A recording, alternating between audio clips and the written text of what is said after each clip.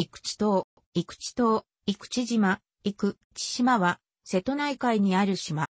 芸予諸島の一つであり、全域が広島県尾道市に属する。かつての行政区分は、豊田郡瀬戸田町と因島市の二つで構成されていたが2006年市町村合併により現在の状況になった。東隣が尾道市の因島、北西隣が同じく尾道市の高根島になる。北隣が三原市の詐欺島。西から南側が愛媛県になり西が今治市の大三島、南が今治市の博多島や上島町の岩木島になる。律領国で、秋国に属していた。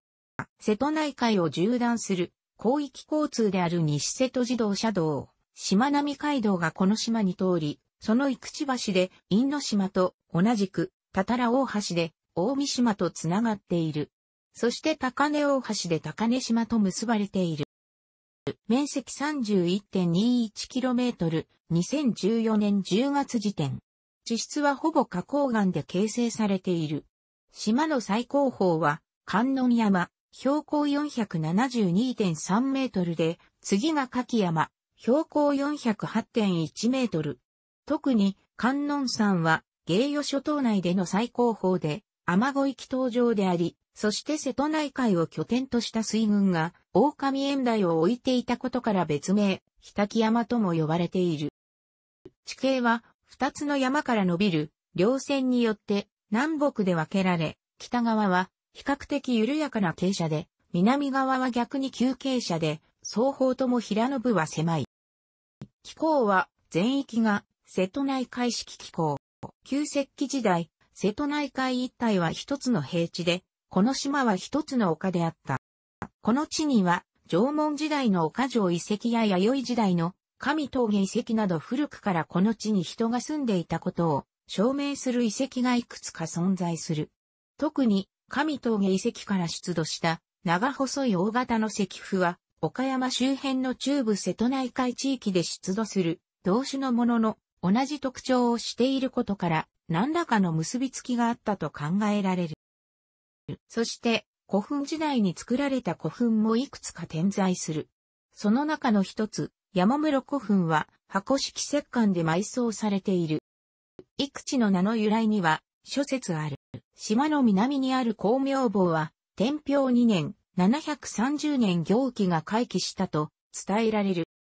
島の西にある、垂水天満宮は、伝承によると、菅原道真由来の神社である。別名は牛天神と言い、道真が、官標8年、896、大山積神社へ祈祷へ向かう最中、この付近でナンパし上陸できずに困っていたトロ、里人が引いていた牛が、嵐の中から道真を陸まで引っ張り上げたことから、この名がついた。その時に道真は、世話になったお礼として、清水のありかを示すとそこから、水が湧き出たことから、垂水の名がついたと言われている。そこより、北の瀬戸田水道南口を見守るような位置にある天満神社は、長和元年、1012年、沢信勝が北の天満宮から寄進したものと伝えられる。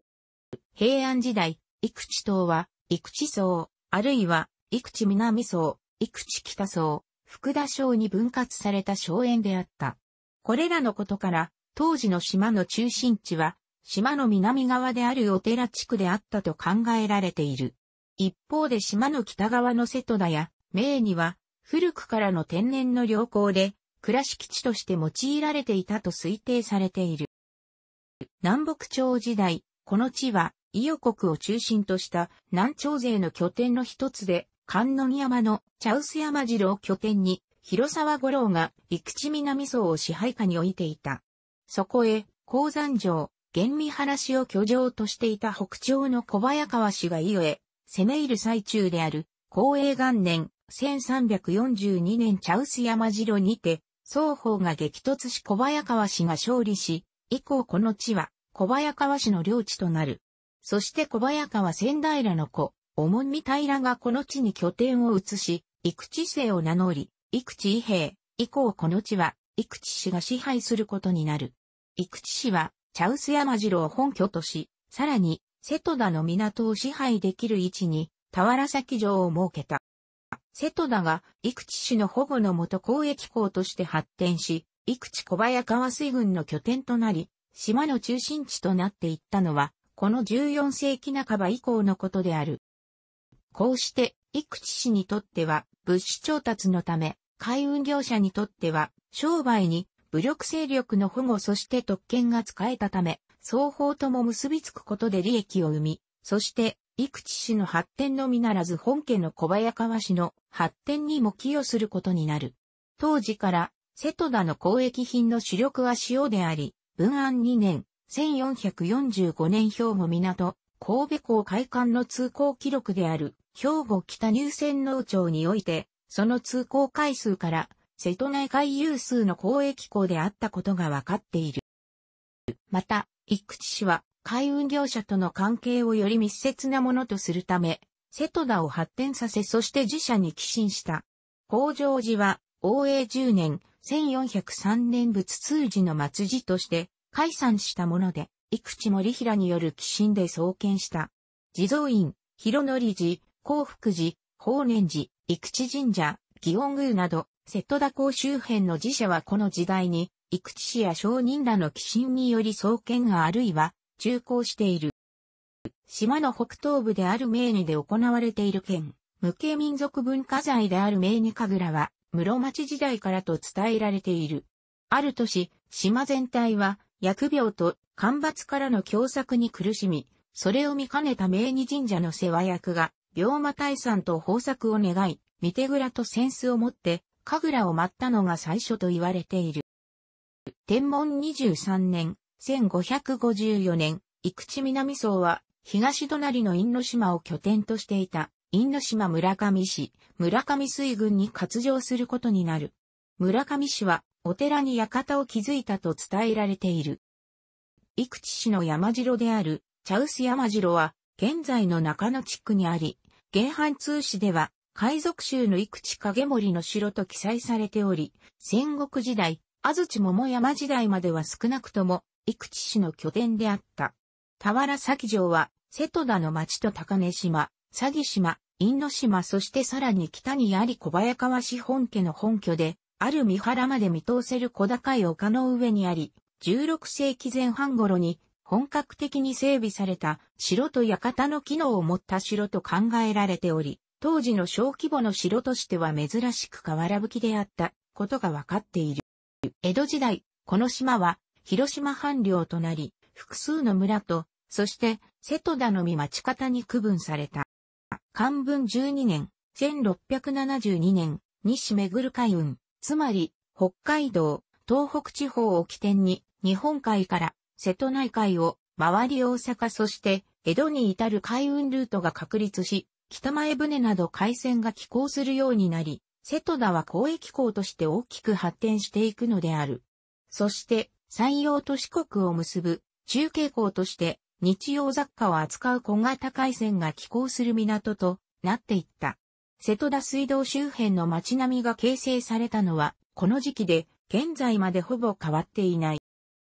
島に大規模な入浜式塩田が開発されたのはこの頃である。江戸時代に開発された塩田は島の北側に集中し、寛永15年、1638年以前に現在の瀬戸田小学校付近に作られたものが最初で、以降、北側沿岸部には幕末までに作られていった。西巡る海運により塩の取引量は上がり、浜旦那と呼ばれた塩田地主権商人が増えていき、住人の大半が専業に関わるようになり、藩内においては、文政8年、1825年時点で、竹原に次いで2番目の生産量を誇った。原版通信によると住民は、園業がメインで、その他には、商業、漁業、周運業などに従事していた。こうしてこの地域の交易港としては、尾道に次ぐ規模となっていった。交渉も多く誕生し、彼らによって街並みが整備され、自社への寄進が続いていった。茶文化や徘徊文化が花開いたのはこの頃である。明治4年、1871年、廃藩置県後、広島県豊田郡に属する。引き続き製塩業が産業の中心で、明治初期に島の南側に大規模塩田が整備されていった。初代の瀬戸田町長、野瀬貞一郎は当時北側の塩田地主の一人で、ある徳能家の出身である。そして、現在の町の産業の中心である、柑橘類の栽培は、明治時代から本格的に、生口島、高根島で始まっている。中野地区は、この柑橘類の販売で財を成した者たちが町を形成した。そして他の瀬戸内の島と同様に造船業が始まる。大正4年、1815年山陽造船が設立されたのが最初で、現在は内海造船瀬戸田工場、三広工業明賀工場、岡田マリンサービスなどの造船所がある。構造寺は昭和10年、1935年元実業家の構造寺構造が建立したもので、戦後、西の日光として観光展開し門前西お町商店街が整備されていった。1953年、昭和28年、東口村が三木国因島の町村と合併し、島の南東部のみ、因島市となる。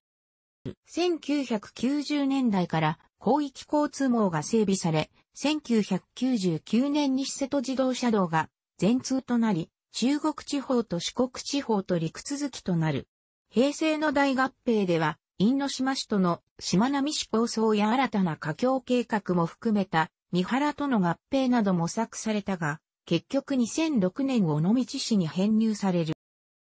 現在の島の産業の中心は、漁業と柑橘類の栽培、造船業、観光業である。漁業、観光としては、タコ料理が特に有名。柑橘の栽培が始まったのは明治以降のこと。平野が狭いが、傾斜地は多い地形と温暖な気候が続く瀬戸内海式気候とこの地は柑橘類の栽培に適しており、そしてそれまで中心だった繊業は1971年園業近代化臨時措置法、塩専売法で塩田廃止に迫られたことにより農業の中心が柑橘栽培へと移っていった。ちなみに、博多の塩の博多島はこの島の南側にある。具体的には、レモンネーブルオレンジ八作みかんが栽培されている。特にレモンは有名で、夏季、ネーブルは、江田島とともに、国内屈指の生産量、八作は、北側の因島が発祥である。この島の観光業はまず1939年以降造営されていった構造寺から始まる。発達したのは、旧瀬戸田町が積極的に進めてきたもので、それまでの中心産業で不況の影響を受けやすい、造船業に代わる新た、産業として力を入れたこと、これに、海と島の博覧会と、島並街道開通で観光ブームが起こったことによるもの。日本初の柑橘類のテーマパークシトラスパークセトだが、開場したのもこの頃である。島並街道開通時は一時的に観光客は増加したが、以降は徐々に減少が続いている。国産レモンの生産量は、広島県が全国一で国内の5割以上を占めている。県内ではほぼ、生口島及び高根島の瀬戸田レモンと大崎下島大町地区の大長レモンの2つが産地で、瀬戸田レモンの実の生産量は国産レモンの3割近くを占め、この島は日本一の生産量を誇っている。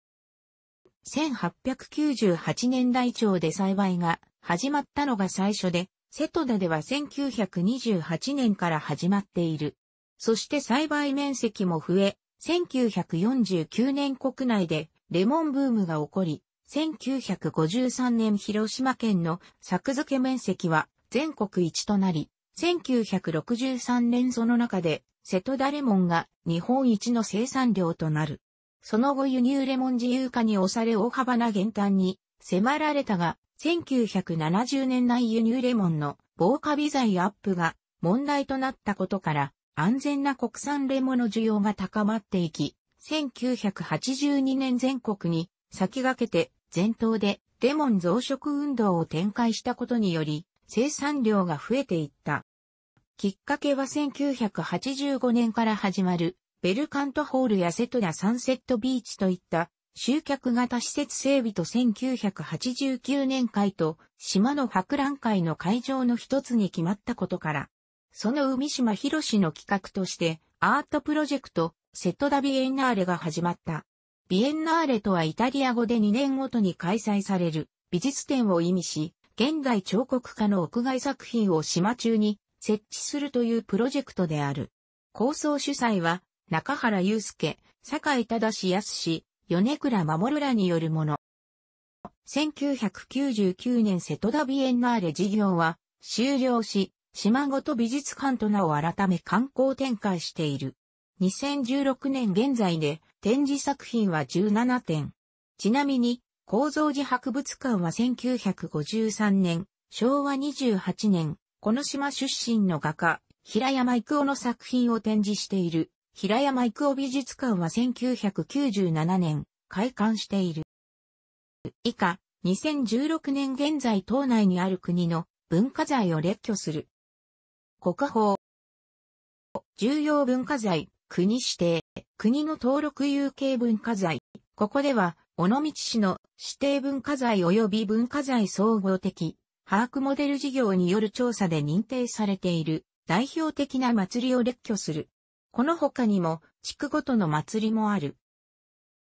西瀬戸自動車道、島並街道により島は、本州、四国ともにつながっている。島内には、瀬戸田パーキングエリア、瀬戸田バスストップがあり、島並ライナーなどバスで来ることができる。島並街道は、他の本州四国連絡橋と違い歩道、自転車道も整備されていることから、徒歩、自転車でも来島できる。また高根島とは高根大橋で結ばれている。外部からの渡航受け入れ港は以下の通り。現在でも通勤、通学になくてはならない航路である。楽しくご覧になりましたら、購読と良いです。クリックしてください。